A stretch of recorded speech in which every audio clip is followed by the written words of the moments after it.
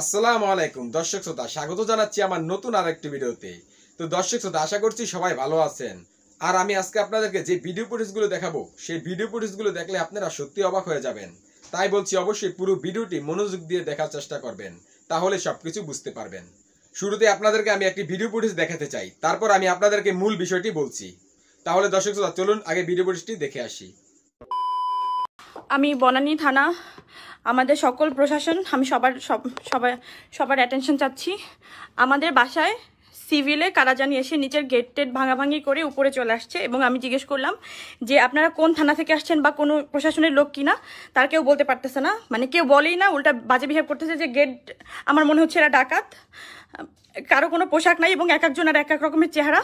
Please আপনারা যে যেভাবে পারেন আমাকে একটু হেল্প করেন। আম- আমি কিছু বুঝতে পারতেছি না। আমি বনানী থানায় যোগাযোগ করা হলো। বনানী থানা থেকে কোনো রেসপন্স নাই, এখন অবধি নাই। আমি ডিবি অফিসে ফোন দিলাম, তারা জানালো যে তাদের কোনো পরিচয় ছাড়া লোককে কীভাবে আমি আমি আমি কীভাবে, আমি দরজা খুলবো? আমি তো খুলতে পারব না। সো প্লিজ এখানে যারা যারা আছেন, যদি আমার লাইফটা এখনই কেউ দেখে থাকেন, থানার লোকজন, একটু প্লিজ আমার বাসায় আস সে যেভাবে অশালীন পোশাক পরে লাইভে এসেছে, তাকে আমার মানুষ বলে মনে হয় না। সে ভেবেছিল হয়তোবা লাইভে এ ধরনের অশালীন পোশাক পরে আসলে জনগণ দেখে মুগ্ধ হয়ে যাবে। তারপর তার পক্ষ নিয়ে জনগণ প্রতিবাদ করবে। কিছুদিন আগে সে একটি নাটক তৈরি করেছিল এবং সে তার বাসায় সাংবাদিকদের ডেকে এনে বোকা বানিয়েছিল। সে বলেছিল যে তাকে নাকি জোর করে মদ খাওয়ানো হয়েছিল। এটা জনগণ কতটা বিশ্বাস করেছে তা জানি না। তো দর্শক শ্রোতা, এই মুহূর্তে আমি আপনাদেরকে পর্যায়ক্রমে দুটি ভিডিও ফুটেজ দেখাতে চাই। তো দর্শক শ্রোতা, চলুন আগে ভিডিও ফুটেজ দুটি দেখে আসি। আমাকে এরকম জোর করে মদটা খাওয়ানো, গিলানো হয়েছিল।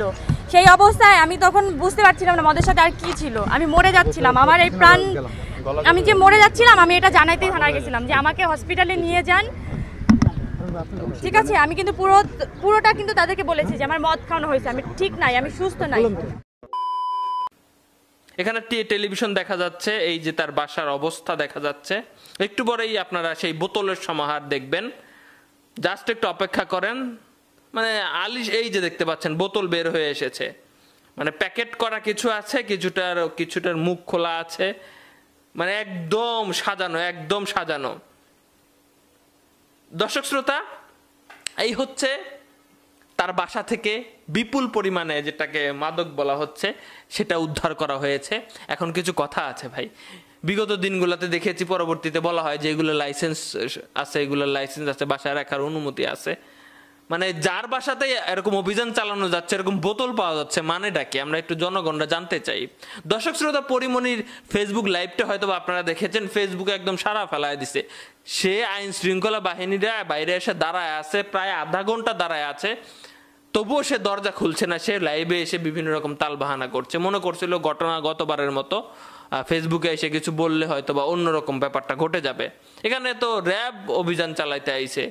আপনি তাদেরকে সাহায্য করা বাদ দিয়ে তাদেরকে যে এইভাবে আধা ঘণ্টা, এক ঘণ্টার মতো যে দাঁড়া রাখলেন, ওনারা যে দরজা ভাঙে ভিতরে ঢোকে না, এটা আপনাদের ভাগ্য ভালো। পরিমণির ভাগ্য ভালো।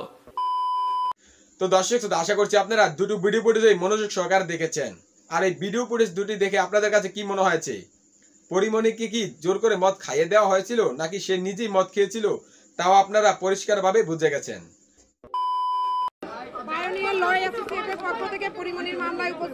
আমি অ্যাডভোকেট আমরা জামিনের আবেদন করেছি। যেহেতু একজন থেকে তেঁতুলিয়া পর্যন্ত চিনে এবং ঢাকায় চলচ্চিত্রে এখন পরিমণি অনিবার্য আমরা মনে করি কালকের থেকে, গতকাল থেকে, গতকাল বিকেল থেকে যে অভিযানটি চালানো হয়েছে, সেই অভিযানের পরে এবং যেভাবে মিডিয়ার উপস্থিতি ছিল সেখানে, তারপরে পরিমণিকে রিমান্ডে নিয়ে নতুন করে অগ্রগতি হওয়ার আর কোনো কিছু নেই। ফলে আমরা বিজ্ঞ আদালতের কাছে প্রার্থনা করেছি পরিমণির রিমান্ড নামঞ্জুর নামঞ্জুর করে জামিন প্রদানের জন্য। বিজ্ঞ আদালত সন্তুষ্ট হয়ে চার দিনের রিমান্ড মঞ্জুর করেছেন। আরেকটা বিষয় দেখলাম, আদালতে একটা ছোট্ট বিষয় নিয়ে হট্টগোল হলো আইনজীবীদের মধ্যে এবং সেই সময় এজলাস থেকে আইনজীবী বিচারক নেমে গেলেন। কি হয়েছিল একটু বলবেন? মূলত অনেক এই করোনা পরিস্থিতির মধ্যে অনেক লয়ার বিজ্ঞ আদালতের এজলাসে ঢুকে পড়েছিলেন পরিমণিকে দেখার জন্য। যার কারণে বিজ্ঞ আদালত ওই পরিস্থিতিতে তারা আদালতের স্বাভাবিক কার্যক্রম পরিচালনা করতে পারছিলেন না বিধায়। তিনি নেমে গিয়েছিলেন। পরবর্তীতে মহানগরের আবু স্যার আসলেন। আসার পর উনি রিকোয়েস্ট করে পরিস্থিতি কন্ট্রোল করলেন এরপর আবার শুনানি শুরু হয়। জি জি পরিমণির সঙ্গে আমার কথা হয়েছে। পরিমণির আগের মামলায়ও আমরা লয়ার পায়োনিয়ার ল অ্যাসোসিয়েট তো সে পরিমণ আগে পরিমণি দুইটা মামলা আছে সেই মামলায় আমরা লয়ার পায়োনিয়ার ল অ্যাসোসিয়েট আমরা পরিমণি আগের দুইটা মামলা বাদীপক্ষের মামলা আমরা লয়ার ছিলাম আমরা। আজকে পরিমণির সঙ্গে এই মামলার বিষয়ে কোনো কথা হয়েছে কি জি পরিমণির সঙ্গে আমার এই মামলার বিষয়ে কথা হয়েছে। পরিমণির বাসায় এই পরিমাণ মাদক পাওয়া যায় নাই। পরিমণির বাসায় যে বোতলগুলো পাওয়া গিয়েছিল সেগুলো ছিল মূলত খালি বোতল মদ ভর্তি। যে মদ মদের কথাগুলো উল্লেখ করা হয়েছে আঠারো কেজি। সেই মদ পরিমণির বাসায় পাওয়া যায় নাই। তার বাসায় মদের বোতল শখ করে সে কিনে রেখেছিল ঠিক কিন্তু বোতলগুলো ছিল খালি। পরিমণির সঙ্গে আমার এই কথাই হয়েছে। তার বাসা থেকে কোনো মদ উদ্ধার হয় নাই। না আদালতের সাথে পরিমণি কিছু বলে নাই আমাদের বলেছেন সে কি তার এই মামলার বিষয়ে কোনো মানে দুশ্চিন্তায় আছেন কিনা অন্য কোনো বিষয় বলেছেন কিনা? হ্যাঁ, বলেছেন। তিনি যেহেতু বাংলাদেশের একজন সুনামধন্য চিত্রনায়িকা তিনি অবশ্যই এই ধরনের পদক্ষেপে খুবই সংকুচিত খুবই লজ্জিত যে তার কেরিয়ার নিয়ে একটা ঝামেলা হয়ে গেল এই মা- মামলা সৃজনের মধ্য দিয়ে। ফলে তিনি তো অবশ্যই লজ্জিত হচ্ছেন যে এই ধরনের একটা ঘটনা তাকে কেন্দ্র করে সংঘটিত হয়েছে। আবার একটু বলেন। আমার নাম নীলাঞ্জনা রিফাত সুরভি।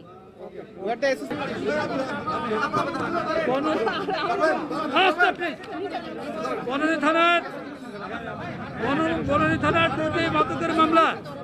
একটি মামলায় পরিমণি এবং আরেকজন এবং অপর একটি মামলায় নজরুল ইসলাম রাজ সহ আরেকজন। ইতিপূর্বে আমরা পরিমণির কিছু ভিডিও ফুটেজ দেখেছিলাম। সেখানে দেখা গিয়েছিল যে সে বিভিন্ন ক্লাবে গিয়ে বাংচুর সহ বিভিন্ন অপকর্ম করেছিল এবং তাদের ক্লাবের সম্মান হানি হবে বলে তারা কখনো মামলা করেননি। এছাড়াও ইতিপূর্বে তার বাসার একটি ভিডিও ফুটেজ ভাইরাল হয়। সেখানে মদের বারও দেখা যায়। তো দর্শক শুধু আমি মনে করি এ ধরনের নারীদের এমন দৃষ্টান্তমূলক শাস্তি হওয়া উচিত যাতে ভবিষ্যতে আর কোনো নারী এ ধরনের অপকর্ম না করতে পারে। তো দর্শক শ্রোতা, ভিডিওটি এই পর্যন্তই। এই ভিডিও সম্পর্কে আপনাদের যদি কোনো মতামত থাকে, তাহলে তা অবশ্যই কমেন্ট বক্সে লিখে জানাতে পারেন। আর দেখা হচ্ছে পরবর্তী ভিডিওতে। সেই পর্যন্ত সবাই ভালো থাকবেন, সুস্থ থাকবেন। আল্লাহ হাফেজ।